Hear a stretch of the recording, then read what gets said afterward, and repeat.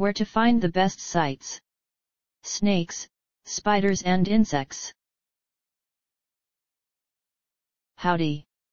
Here you will find where to solve your questions about how to find a southern cricket frog. These selected resources on the web might help you.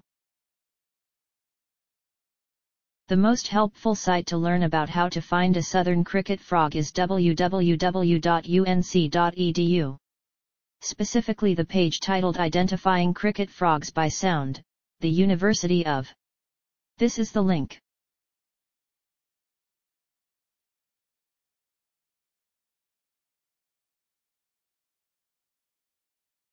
Try also our second ranked site en.wikipedia.org, especially the page Southern Cricket Frog, Wikipedia, the free encyclopedia. This is the link.